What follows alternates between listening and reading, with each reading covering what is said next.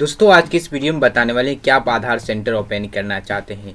अगर आप आधार centre open करना चाहते हैं और काम करना चाहते हैं आधार कार्ड की तो आज की इस वीडियो में हम आपको इस वीडियो में बताने जा रहे हैं कि जब भी आप आधार सर्विस लेते हैं, जब भी आधार कार्ड में काम करने की कोशिश करते हैं तो वहाँ पे आपको आधार कार्ड के एक सर्टिफिकेट मांगा जाता है। जब तक ये सर्टिफिकेट आप आधार कार्ड के नहीं देंगे, तब तक आप आधार कार्ड की काम नहीं कर सकते हैं। दोस्तों, आज की इस वीडियो में बताएँगे उस सर्टिफिकेट के लिए कैसे अप्लाई करते हैं और कैसे उस एग्ज़ाम को क्वालिफाई करके सर्टिफिकेट पाते हैं ऑनलाइन आज की इस वीडियो में बताएँगे आपको पूरी चीज़ विस्तार से किस तरह आपको आधार कार्ड की सर्टिफिकेट मिलेगी। अगर आप एक आधार सेंटर ओपन करना चाहते हैं तो तो आज की इस वीडियो में हम आपको विस्तार से बताने जा रहे हैं किस तरह आप, किस तरह आप ऑनलाइन एग्ज़ाम दे सकते हैं, क्या क्वालिफिकेशन चाहिए, क्या एलिजिबिलिटी चाहिए, क्या पेमेंट लगेगा और कैसे अप्लाई करना है, कैसे एग्ज़ाम देना है, आज के इस वीडियो में बताने जा रहे हैं। तो चलिए वीडियो शुरू करते हैं। मैंने आपको वीडियो के डिस्क्रिप्शन बॉक्स में एक वेबसाइट का लिंक दिया इस वेबसाइट का आप वीडियो के डिस्क्रिप्शन बॉक्स के लिंक को फॉलो करेंगे इस वेबसाइट पे आ जाएँगे। और यहाँ पे बताएगा टर्म्स एंड कंडीशन क्या क्या होना चाहिए इसके लिए। इसके लिए आपके आधार कार्ड में रजिस्टर्ड मोबाइल नंबर होना चाहिए, जिससे ओ वेरिफिकेशन हो। और आपके आधार, आपका एक लेटेस्ट फोटोग्राफर यानी फ़ोटो होना चाहिए आधार कार्ड में। ठीक है? लेटेस्ट फ़ोटो होना चाहिए आपके आधार कार्ड में। साथ साथ आपकी एज 18 वर्ष होनी चाहिए और आपके पास क्वालिफिकेशन सर्टिफिकेट कम से कम मैट्रिक का होना चाहिए और आपका हाल फ़िलहाल का डाउनलोड एक आधार कार्ड चाहिए। साथ साथ आपको आधार पेपरलेस ऑफलाइन ई के वाई सी फ़ाइल चाहिए। ये कैसे मिलेगा, ये हम सब आपको बताएँगे। तो यहाँ पे क्या चार्ज लगेगा, वो सारा चीज़ आपको यहाँ पे बता दिया जाता है। क्या क्या ज़रूरी है इसके लिए? इसके लिए आपकी उम्र 18 वर्ष और आपके आधार कार्ड में मोबाइल नंबर रजिस्टर होना चाहिए और एक फ़िलहाल फ़ोटोग्राफी होना चाहिए आधार कार्ड में। ठीक है, और आप मेट, कम से कम मैट्रिक पास होना चाहिए। तो इसके लिए इस सर्टिफिकेट के लिए आप एलिजिबल है। तो इस सर्टिफिकेट के लेने के लिए सबसे पहले आपको यहाँ पे कैरिएट न्यू यूज़र पे क्लिक करना है। जैसे आप कैरिएट न्यू यूज़र पे क्लिक करेंगे तो कुछ इस तरह यहाँ पे आ जाएगा। यहाँ पे अपलोड एक्सएमएल फ़ाइल कह रहा है। तो अपलोड एक्सएमएल फ़ाइल कैसे मिलेगा? अपलोड एक्सएमएल फ़ाइल लेने के लिए आप मैं वेबसाइट का लिंक दिया हूँ, आधार कार्ड की वेबसाइट पे। इस वेबसाइट पे आएँगे, यहाँ पे अपना आधार नंबर देंगे। अपना आधार नंबर देने के बाद इस कैप्चर को यहाँ पे इस बॉक्स में फिलअप करेंगे। कैप्चर फिलअप करने के बाद सेंड ओ टी भी क्लिक करेंगे। आपके रजिस्टर मोबाइल पे एक ओटीपी भेजा जाएगा। उस ओटीपी को यहाँ पे फिलअप करके वेरीफाई करेंगे। तो उसके बाद यहाँ देखिए हमारे मोबाइल पर ओ भेज दिया गया उससे पहले यहाँ पे करें एक पासवर्ड रखने के लिए खुद मनपसंद चार रंग का आपको एक पासवर्ड बनाना होगा। और साथ साथ यहाँ पे जो ओटीपी आपको रजिस्टर मोबाइल में मिला है, उस ओटीपी को यहाँ पे फिलअप करेंगे। ओ टी फिलअप करने के बाद यहाँ पे डाउनलोड बटन पर क्लिक करेंगे। जैसे आप डाउनलोड करेंगे, यहाँ पे देखिए आपका जो आधार ऑफलाइन ये डाउनलोड हो चुका है और इसी फ़ाइल को हमको अपलोड करना है। इसको हम यहाँ पे एक फोल्डर में ले लेते हैं। अभी जो मैंने डाउनलोड किया वो ये फ़ाइल है। इसके अंदर भी एक डॉक्यूमेंट है। तो इस डॉक्यूमेंट को अपलोड नहीं करना है, हमको ये जो फ़ाइल है, ये पूरा का पूरा फ़ाइल ही अपलोड कर देना है। अगर इस फ़ाइल के अंदर जो डॉक्यूमेंट है उसको अपलोड करेंगे तो ये नहीं लेगा। तो ये जो फ़ाइल है फ़ाइल को ही अपलोड कर देंगे। फ़ाइल को चलिए यहाँ पे अपलोड करते हैं।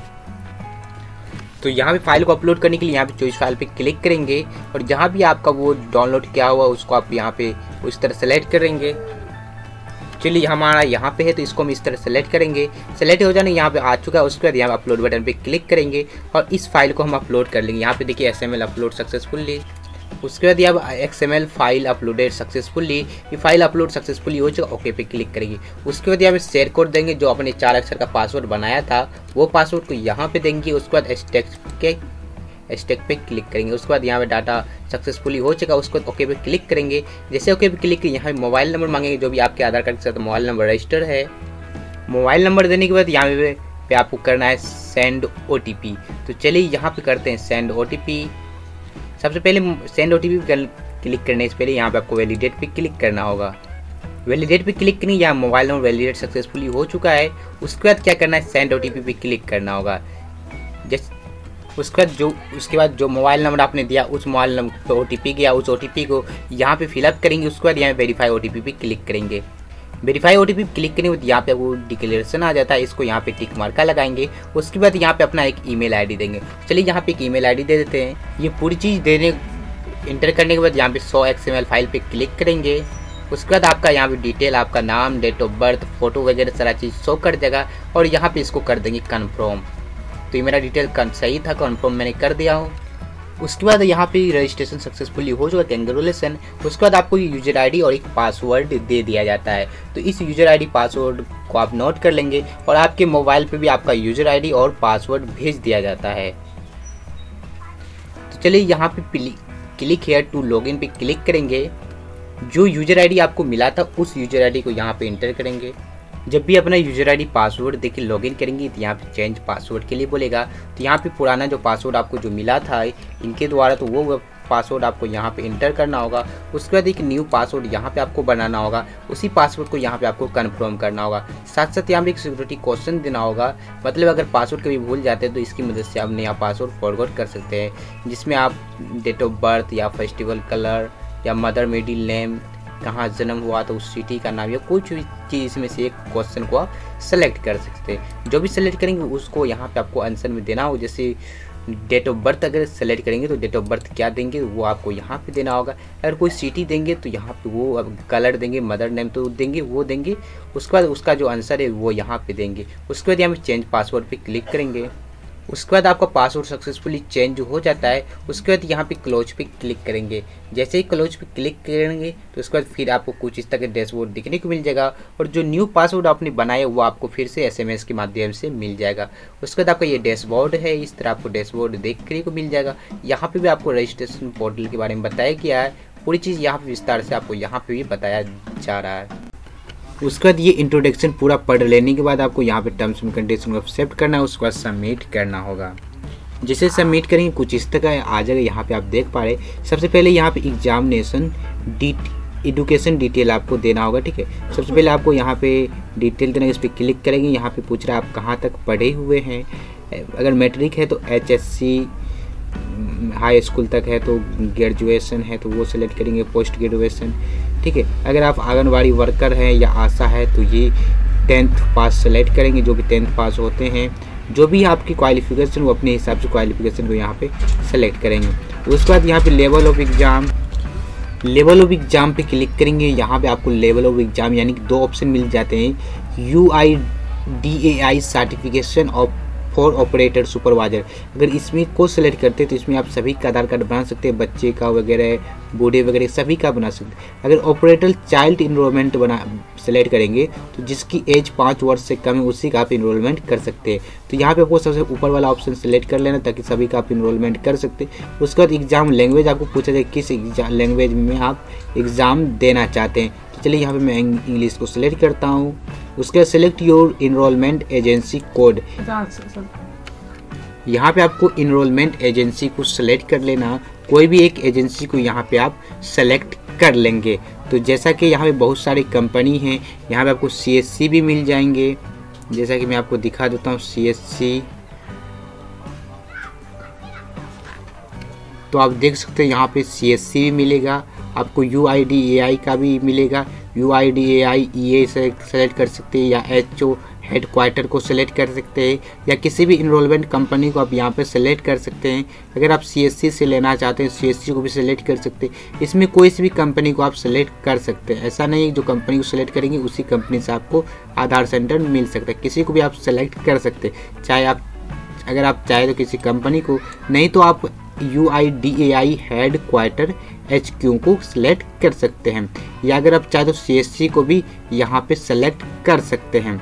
जिसको भी सेलेक्ट करना, आप सेलेक्ट कर लेंगे। उसके बाद यहाँ पे आपका आधार नंबर, उसके बाद यहाँ पे आपकी पर्सनल डिटेल आ जाएगी। जैसे कि नाम date of birth male mobile number email ID उसके बाद यहाँ पे टेस्ट जो देंगे, वो किस स्टेट में हो देंगे, उसको स्टेट को सिलेक्ट करेंगे। उसके बाद किस सिटी में देंगे, जितने भी सिटी में इनके द्वारा अभी आधार के एग्जामिनेशन सेंटर ले जा रहे हैं, वो सभी सिटी आ जाएँगे। जो भी आपके नज़दीकी सिटी है, उसको सेलेक्ट करेंगे। सिटी को सेलेक्ट करने के बाद यहाँ पे इस सेंट इस सिटी में जितने भी सेंटर उस सेंटर को यहाँ पे लिस्ट आ जाएगी। यहाँ पे एक ही सेंटर है, जिसको सेलेक्ट करेंगे। ये पूरी डिटेल देने के बाद आपको सेव एंड कंटिन्यू पे क्लिक करना होगा। जब क्या वो सारी डिटेल यहाँ पे आ जाएगी। अगर लगे आपको इसमें कुछ गलत है तो यहाँ पे एडिट पे क्लिक करके इसको चेंज कर सकते हैं। उसके बाद यहाँ पे प्रोसीड टू सबमिट फॉर्म पे क्लिक करेंगे। प्रोसीड टू सबमिट फॉर्म पे क्लिक करने के बाद कुछ इस तरह का पेज आ जाएगा। तो यहाँ पे आपको डिक्लेरेशन देना वो टिक मार्का लगाएँगे। उसके बाद सबमिट अप्लीकेशन फॉर्म पे क्लिक करेंगे। सबमिट अप्लीकेशन फॉर्म पे क्लिक करने के बाद तो ये देख सकते हैं व्यू आपकी डिटेल जो आपने सबमिट किया, वो सारी चीज़ यहाँ पे व्यू पे क्लिक करके आप फिर से कभी भी देख सकते हैं। उसके बाद आपको पेमेंट करना होगा। पेमेंट करने के लिए यहाँ पे पेमेंट पे क्लिक करेंगे। यहाँ पे आपको दो अगर ऑलरेडी पेमेंट कर चुके हैं तो ये सिलेक्ट करेंगे। अगर आप पेमेंट कहीं नहीं किए हैं जैसे ऑफलाइन वगैरह पेमेंट कहीं कर चुके तो इसको सेलेक्ट करेंगे। अगर आप पेमेंट नहीं किए तो यहाँ पे ऑनलाइन मेथड को सिलेक्ट करेंगे और प्रोसीड टू पे पे क्लिक करेंगे। उसके बाद कुछ इस तरह यहाँ पे ओके पे क्लिक करेंगे। उसके बाद आपको यहाँ पे पेमेंट करना हो देख सकते चार सौ सत्तर रुपये आपको पेमेंट करना हो जो कि आप credit card debit card net banking या यूपीआई से पेमेंट कर सकते हैं। नेट बैंकिंग से करेंगे तो नेट बैंकिंग सेलेक्ट करेंगे। नेट बैंकिंग यहाँ कौन सी बैंक को सिलेक्ट करेंगे बैंक से करेंगे, वो सिलेक्ट करेंगे। यहाँ पे बैंक की लिस्ट आपको मिल जाती है। उसके बाद यहाँ पे पेनो पे क्लिक करेंगे। उसके बाद कुछ इस तरह सेंटर पे इंटरनेट बैंकिंग का यूज़र आईडी पासवर्ड देंगे लॉगिन करेंगे। उसके बाद कुछ इस तरह आ जाएगा यहाँ पे कन्फर्म पे क्लिक करेंगे। उसके बाद फिर से इस तरह आ जाएगा। यहाँ पे फिर से आपको कंफर्म पे क्लिक करना होगा। आपको मोबाइल पे ओ टी मिलेगा। उस ओटीपी को इंटर करके आपको पेमेंट कर देना होगा। पेमेंट हो जाने के बाद आपको पेमेंट रिसिप्ट मिलेगा। वो रिसिप्ट लेके जाएँगे, ठीक है? वो रिसिप्ट लेके आपको जो सेंटर सेलेक्ट किए, वो सेंटर पे आपको जाना होगा।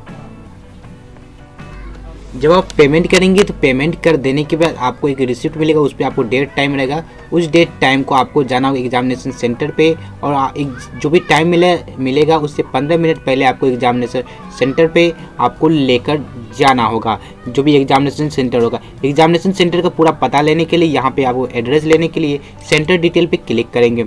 सेंटर डिटेल पे क्लिक करेंगे, सबसे पहले यहाँ पे आपको अपना स्टेट सेलेक्ट करना होगा, उसके बाद यहाँ पे सिटी सेलेक्ट करेंगे, उसके बाद यहाँ पे सर्च पे क्लिक करेंगे। सर्च पे क्लिक करने के बाद यहाँ पे देख सकते हैं उसका पूरा एड्रेस आपको मिल जाएगा।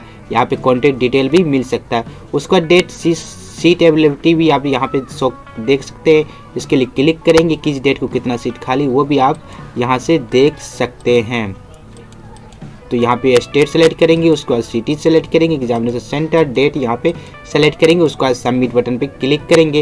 यहाँ पे कितनी डेट है यहाँ पे सभी डेट यहाँ पे देख सकते हैं बुक है और ये बस सीट अवेलेबल नहीं है ज़ीरो ज़ीरो इसमें सीट अवेलेबल तीन है तो इसी तरह आप यहाँ पे देख सकते हैं।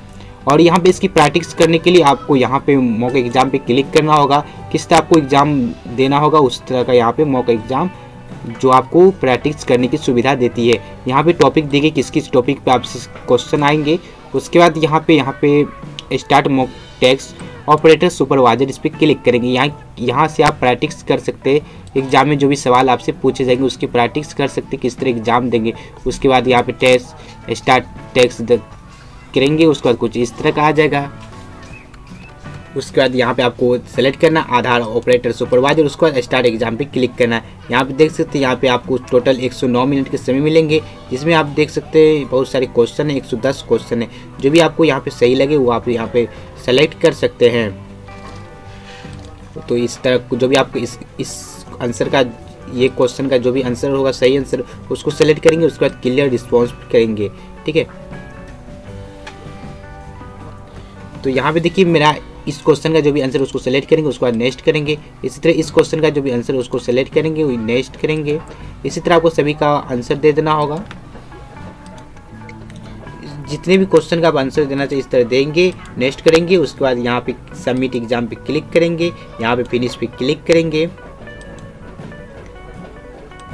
फिनिश उसके बाद स्कोर कार्ड आ जाएँगे, कितने मार्क का एग्ज़ाम था, कितना आपने दिया कितना सही हुआ, इस तरह आप यहाँ पे दे सकते हो और अपना ये प्रैक्टिस आप इससे ऑनलाइन कर सकते हैं। जितना मर्ज़ी उतनी बार आप इससे प्रैक्टिस कर सकते हैं। उसके बाद जब एग्ज़ाम देंगे आप, जब आपका रिज़ल्ट जारी हो जाएगा तो यहाँ पे माई स्कोर कार्ड पे क्लिक करके अपना स्कोर आप देख भी सकते हैं। तो यहाँ से पेमेंट हिस्ट्री आप देख सकते हैं। सर्टिफिकेट जो मिलेगा वो आपको किस तरह का रहेगा सर्टिफिकेट सैंपल भी यहाँ पर आप क्लिक करके देख सकते हैं।